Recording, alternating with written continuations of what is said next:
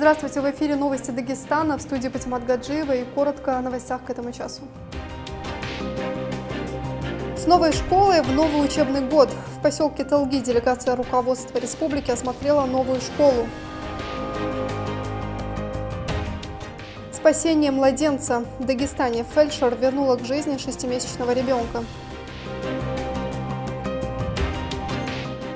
И о подробностях выставки памяти дагестанского художника через несколько минут.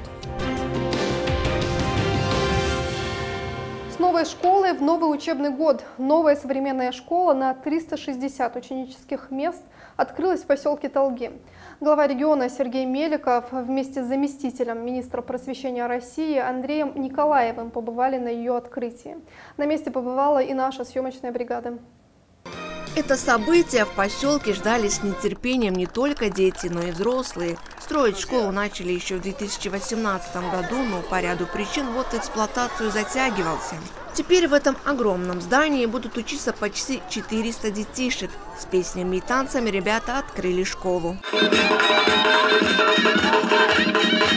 Надо отметить, что мы долго к этому шли. Это путь был длиной в целые 40 лет, когда а, на этой территории у нас была в 89 году а, заложена эта школа, и она была на самом деле там маленькая, не совсем там удовлетворяла сегодняшним потребностям талгинцев с учетом того, что все разрослись и количество детей стало намного больше. Но прошли годы, была определенная проведена работа. В новой школе есть все, о чем мечтали ребята. Внушительный спортзал, просторный актовый зал и комфортная столовая. Все, что необходимо детям. Все классы в школе оборудованы по последнему слову техники, ноутбуки и современные проекторы. Здесь также есть медицинский кабинет, библиотека и мастерские, где ученики смогут проявить свои творческие способности и приобщиться к здоровому образу жизни. Сергей Меликов лично осмотрел кабинеты и пообщался с ребятами. Хорошая оценка? Да. А у тебя? Я тоже. Или отличная? Многие из школьников хотят заниматься спортом более профессионально, но пока в новом здании все необходимые условия для этого не созданы. Сергей Меликов поручил организовать спортивные секции и подарить учреждению инвентарь для занятий единоборствами и другими видами спорта. Ринг, маты, стойки для рукопашного боя, перчатки, перчатки боксерские, ММА.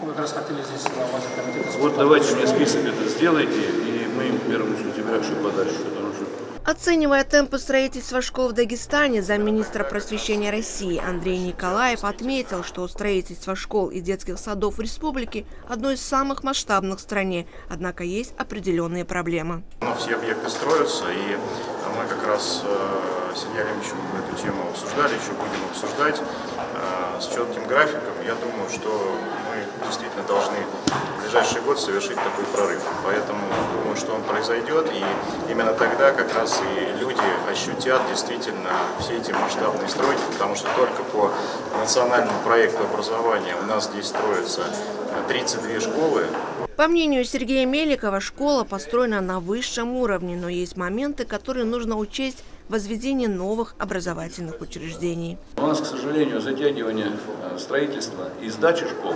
происходит потому, что, опять же, не решены вопросы с земельными отношениями. То есть земельные участки для строительства э, не только школ, но и других социальных объектов избираются очень неэффективно. Э, в ряде случаев далеко от дорог, далеко от самих поселков – и вот мы уже дважды обращались в Министерство просвещения. Один раз мы обращались к вице-премьеру Голиковой Татьяне Алексеевне с просьбой перенести э, вопрос, вернее, срок по сдаче школы. Мне уже на самом деле неудобно, но, скорее всего, мы еще раз вынуждены будем обратиться, потому что не все построенные школы мы сегодня сможем э, обеспечить вот той инфраструктурой, которая есть. Переезд в новую школу учителя и ученики не стали откладывать до начала нового учебного года. В здании уже проходят занятия, и педагоги вместе с учащимися осваивают новое оборудование. Зумруд Гамидова, Мурат Бигбарзов, телеканал ННТ. Возле Жума-мечети начал работу мобильный пункт вакцинации от коронавируса. Уважаемые граждане, приглашаем всех желающих на вакцинацию против коронавируса COVID-19. Просьба подойти к мобильному передвижному медицинскому пункту.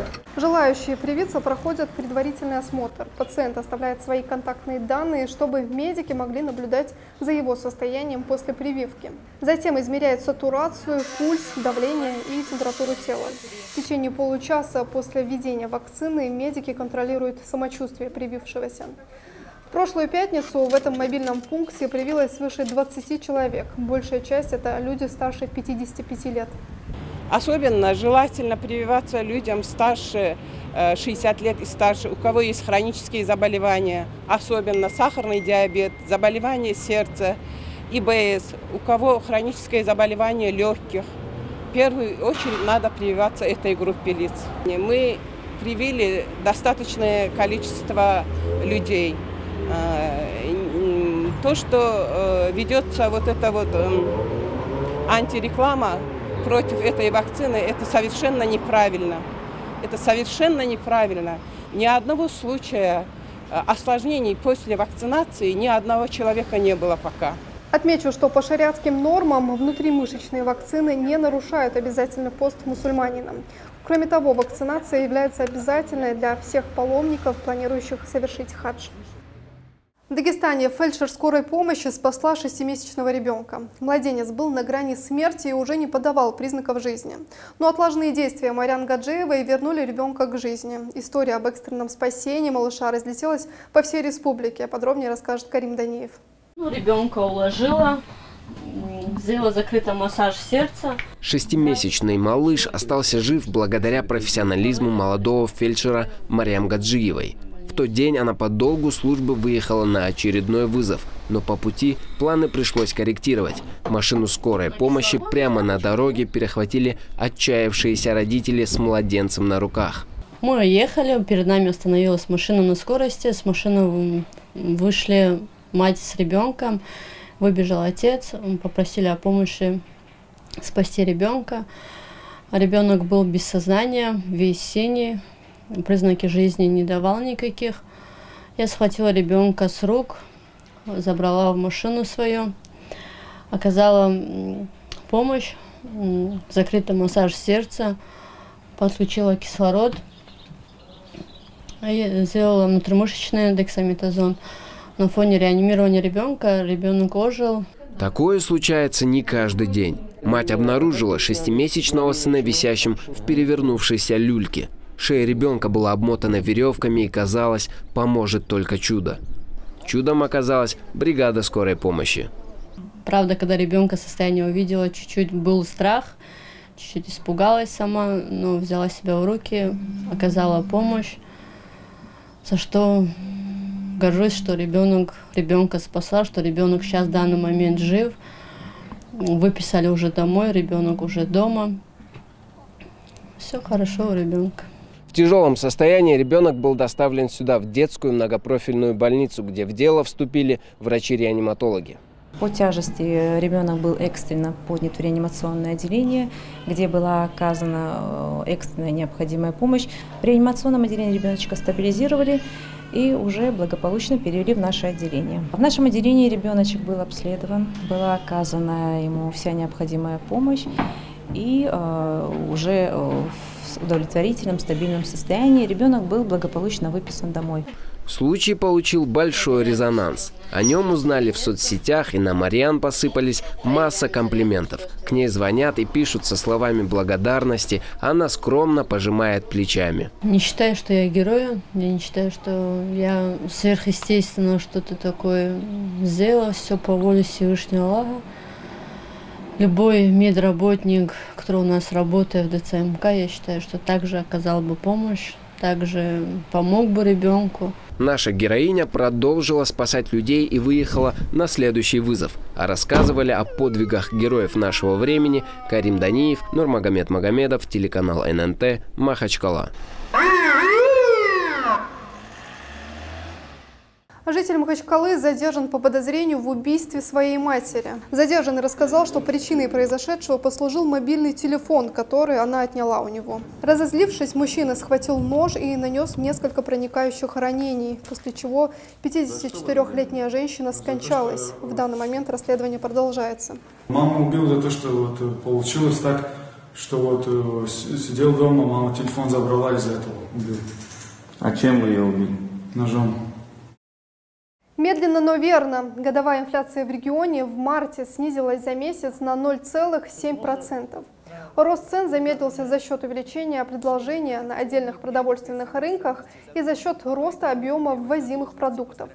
Так, за счет появления большего количества импортных овощей более низкой ценовой категории на внутреннем рынке привело к замедлению темпов роста цен на помидоры, огурцы, картофель, лук и яблоки.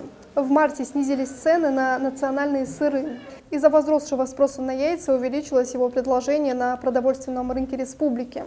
Ввоз куриного яйца из соседних регионов поставщиков привел к замедлению роста цен на них. Среди непродовольственных товаров на снижение роста инфляции повлияло еще и снижение спроса на медицинские товары, а также моющие и чистящие средства.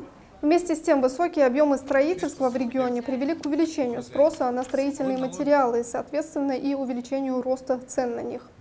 Наблюдался рост цен на авиабилеты в связи с повышением спроса на внутренние перелеты. Оживление спроса на зарубежный отдых повлияло на ускорение темпа в рост цен в туристической области. В целом же инфляция в Республике Дагестан в марте этого года была выше, чем по СКФО и по стране, и составила 9%.